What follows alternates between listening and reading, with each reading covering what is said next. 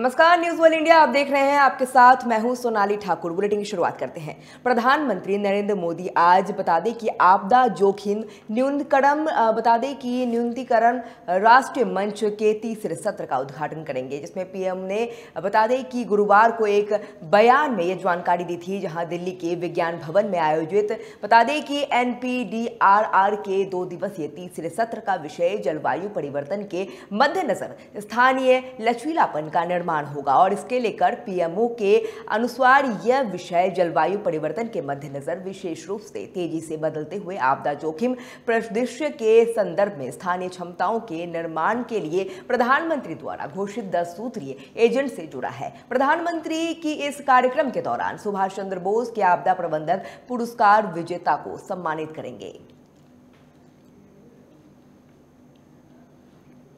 Germany के बता दें कि हैम्बर्ग शहर में एक चर्च में गोलीबारी का मामला सामने आया है। इस हमले में अब तक सात लोग मारे गए हैं, जबकि कई अन्य घायल हुए हैं। वहीं हैम्बर्ग बता दें कि पुलिस ने ट्वीट करके इसकी जानकारी दी है और साथ ही अल्स्टरड्रोफ इलाके में यह घटना हुई है, जहाँ पर घटना स्थल पर बचाव अभियान लगातार जारी है। पुलिस ने बताया है कि फ़िलहाल हम हमले के कारण की जाँच कर रहे हैं। मीडिया रिपोर्ट के मुताबिक बता दें कि यह हमला ग्रॉस बोरस्टल ज़िले के, बता दें कि डील डील बोगे स्ट्रीट पर एक चर्च में हुआ है। दरअसल जर्मनी के हमबर्ग शहर में कुछ बंदूकधारियों ने अंधाधुंध फायरिंग शुरू कर दी और इस दौरान सात लोगों की मौत के अलावा कई लोग घायल होने के मामले सामने आए हैं। और साथ ही बता दें कि फायरिंग उत्तरी जर्मनी शहर हबर्ग में हुई है और फ़िलहाल हबर्ग पुलिस मौके पर एक बचाव अभियान चला रही है और आरोपियों की तलाश में लगातार जुटी हुई है। पुलिस के मुताबिक हमले में मकसद क्या है? ये अब सामने आएगा लेकिन फ़िलहाल ये साफ़ नहीं हो पाया है।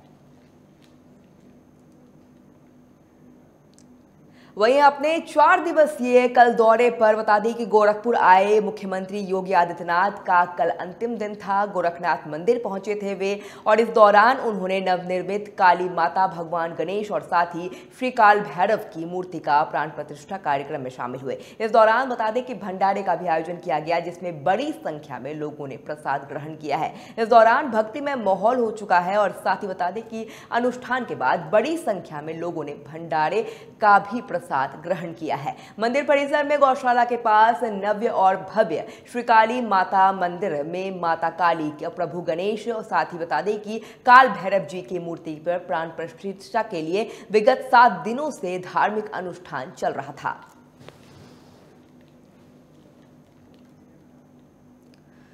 हम अपने प्रधानमंत्री नरेंद्र मोदी के ऐसे फ़ैन के बारे में आपको बताएँगे और उनकी दीवानगी के बारे में आप, आज आपको बताएँगे, जो हज़ारों किलोमीटर की दूरी पर साइकिल से तय करता हुआ ये यात्रा दिल्ली के लिए जा रहा है और साथ ही बता दें कि फिरोजाबाद के सिरसागंज पहुँचे हैं ये व्यक्ति और इन्होंने पीएम मोदी के इस फ़ैन ने झारखंड के जमशेदपुर से दिल्ली तक का ये सफ़र तय किया है। ये शख्स सितारगंज से गुजरा है। बता दें कि साइकिल पर एक नेम प्लेट है है जिस पर ये इंग्लिश में लिखा हुआ है कि जमशेदपुर टू दिल्ली। और एक तरफ़ तिरंगा झंडा है तो वहीं दूसरी तरफ़ बीजेपी का झंडा भी है। बिल्कुल साधारण से दिखने वाले ये युवक का नाम फूलचंद्र है और साथ ही जो हज़ारों किलोमीटर साइकिल से यात्रा कर दिल्ली जा रहे हैं। मन में यही है मोदी हमारे मन में बैठ गए इतना प्रेम हो गया है कि मन से निकल नहीं रहा है। जी। कितने किलोमीटर का सफ़र तय करे आए हैं और कितना बकाया अभी तक तो हम साढ़े बारह सौ किलोमीटर तय कर लिए हैं। जी। रोज़ाना कितना चल रहे हैं? वही सौ किलोमीटर करीब। जहाँ दलितों और वंचितों के हक को लेकर संसद से सड़क तक प्रदर्शन चल रहा है, वहीं विधानसभा में बीजेपी सरकार पर दलित विरोधी होने का आरोप भी लगा रही है। यूपी के एटा से एक खबर सामने आई है, जहाँ पर बता दें कि मुखिया के, बता दें कि सजातीय लोग होली के पर्व पर दलितों पर अत्याचार बरपा रहे हैं। घटना होली के त्यौहार पर यह घटित हुई है, जहाँ पर यादव समुदाय के युवाओं द्वारा दलित जाटव परिवार की महिलाओं और साथ ही लड़कियों से छेड़छाड़ करने के बाद उसके घर में घुसकर जमकर तांडव मचाया गया और पीट पीट कर लहूलुहान कर दिया गया। मामला कोतवाली, अलीगंज के नगला भज में घटित हुई है, जहाँ पर नगला गजपति के यादव समुदाय के लड़कों ने गाँव में घुसकर यह सनसनीखेज वारदात को अंजाम दिया। मामले में आधा दर्जन से अधिक लोगों ने यह विरुद्ध विभिन्न धाराओं में मुकदमा दर्ज कराया गया है। फ़िलहाल पुलिस आरोपियों की धरपकड़ में जुटी हुई है चले आए और पुलिस वाले जब पहुँचे पुलिस वाले के सामने आए दौड़ के तो उन्होंने सामने थे हम लोग ने, उन्होंने भगाओ, पुलिस वाले ने उन्हें, हम उन लोगों ने भगाओ, तब भागे। और देखो, सब मेरे परिवार में बहुत ही चोट लगी, जैसे पूरे गाँव में जैसे बहुत चोट मारी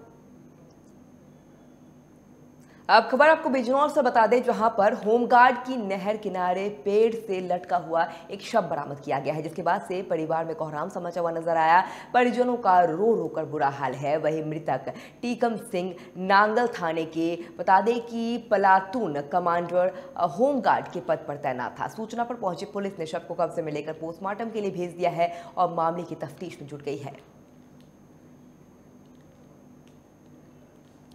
वहीं फिरोजाबाद में वर्षों पुरानी चल रही बता दें कि परंपरा के तहत ग्राम चुल्हावली में पैना मार होली का आयोजन किया गया, जिसमें पूर्व ग्राम प्रधान शंकर सिंह सोलंकी द्वारा यह आयोजन कराया गया है, जिसमें पैना मार होली में भाग लेने वाली महिला और पुरुषों को सम्मान पर, उन महिला पुरुषों को सम्मान किया गया, जिस महिलाओं ने सबसे ज़्यादा पुरुषों पर पैना मारा है और सबसे ज़्यादा महिलाओं से पुरुष पीटे हैं। आपने बता दें कि मथुरा वृंदावन की लठमार होली तो सुनी ही होगी और देखी भी होगी, मगर ये फिरोजाबाद में एक गाँव के चुल्हावली इस पर भी बता दें कि पैनामार होली खेली जाती है और यहाँ पर टुंडला के ग्राम चुल्हावली में पैनामार होली वर्ष पुरानी परंपरा है, जिसे आज भी पूर्व ग्राम प्रधान शंकर सिंह सोलंकी द्वारा निभाई जा रही है।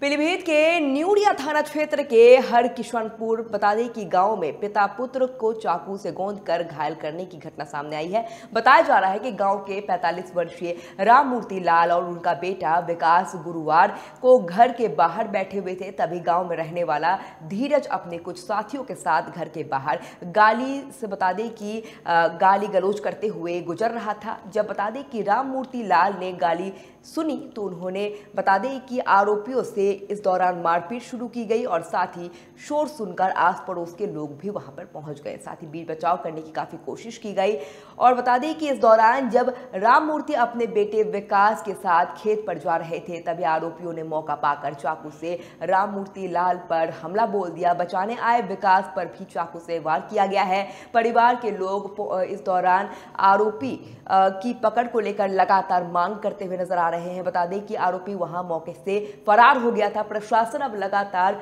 उस आरोपी की तलाश में जुटा हुआ है। क्या है पूरा मामला? पूरा मामला ये है कि धीरज कुमार इधर से आया था और जो राम मूर्ति लाल हैं वो मेरे चचा लगते हैं और मेरा भतीजा भाई मेरा एक विकास नाम का उनका लड़का राम मूर्ति का।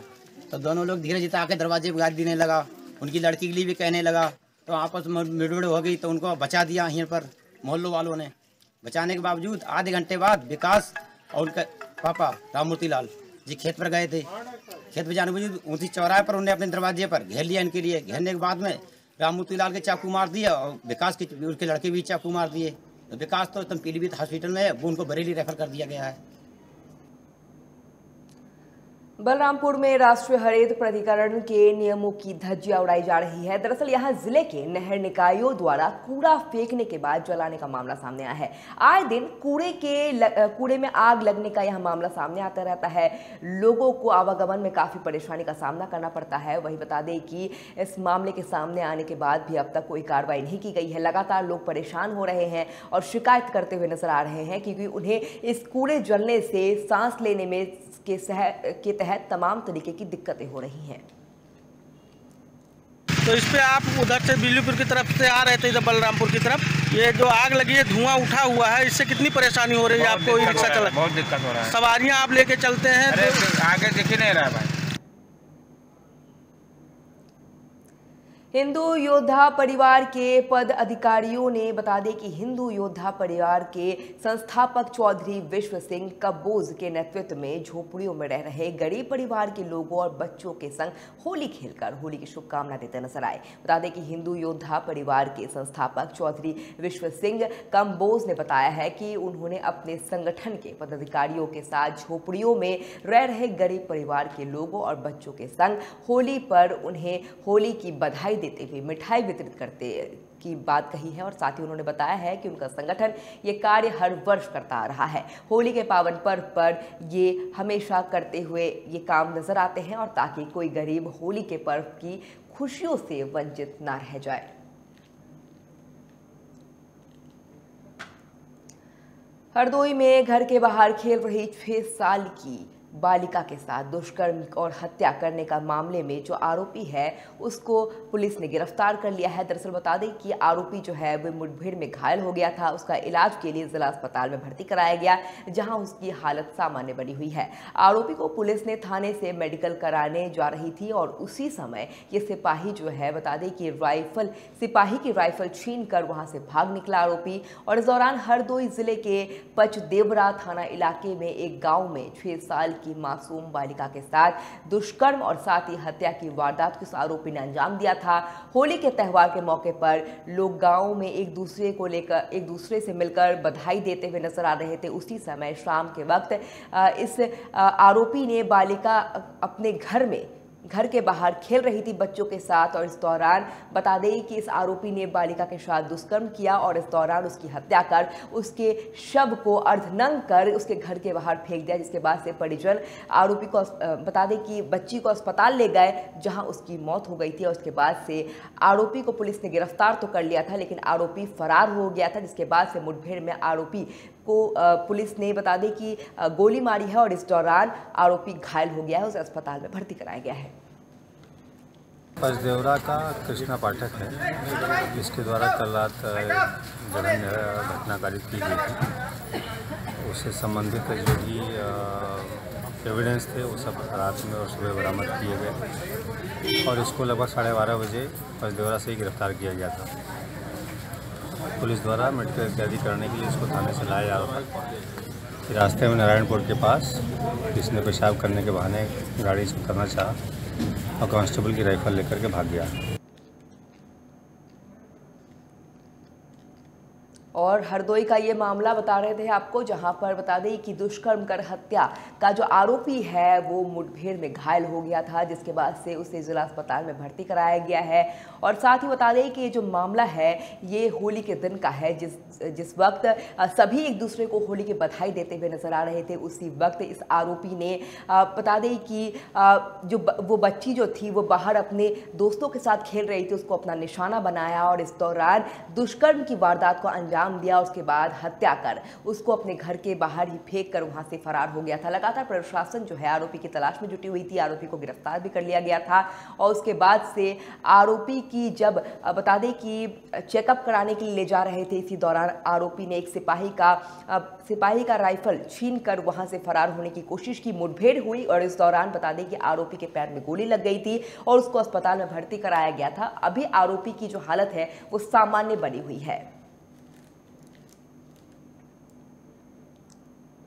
योगी सरकार द्वारा चलाए जा रहे नशे के विरुद्ध अभियान के तहत बता दें कि रक्षा थाना क्षेत्र में अमरपुर गाँव में हो रही अफीम की खेती की सूचना पर छापेमारी करते हुए बानवे सात सौ तिरालीस से अधिक संख्या में पोस्तों के पौधे बरामद किए गए हैं, जिसकी कीमत अंतर्राष्ट्रीय बाज़ार में करोड़ों रुपए की बताई जा रही है। पुलिस टीम ने मौके पर दो अभियुक्त को भी गिरफ़्तार किया है। जानकारी के मुताबिक एसएसपी राजेश एस के निर्देश पर रक्षा, बता दें कि रक्षा थाना पुलिस ने ग्राम अमरपुर की छापेमारी करते हुए जुगल किशोर धर्मेंद्र कुशवाहा को गिरफ़्तार कर इनके कब्जे से दो, बता दें कि हंसिए भी बरामद किए हैं। बता दें कि बानवे हज़ार सात सौ तिरालीस पौधे अफीम की खेती के बरामद किए गए हैं। वहीं एक आरोपी मौके से फरार हो गया, जिसका नाम राम किशोर प्रजापति बताया जा रहा है। बताया जा रहा है कि पकड़े गए आरोपी अफीम की खेती कर इसे बड़े दामों में बेचा करते थे और वहीं पकड़े गए माल की कीमत अंतर्राष्ट्रीय बाज़ार में करोड़ों रुपए की बताई जा रही है।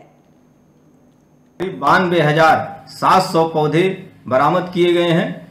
इन दोनों के विरुद्ध उचित धाराओं में अभियोग पंजीकृत करके इनको जेल भेजा जा रहा है तथा इनके साथ जो सहयोगी थे, तीन अभियुक्त, उनको भी इस इन अभियोगों में वांछित किया गया है। बिजनौर के गाँव औरंगाबाद में एक बता दें कि चार पहिया वाहन अनियंत्रित होकर घर में घुस गया, जिसमें पिता गंभीर रूप से घायल हो गए। दो मासूम की मौत हो गई थी।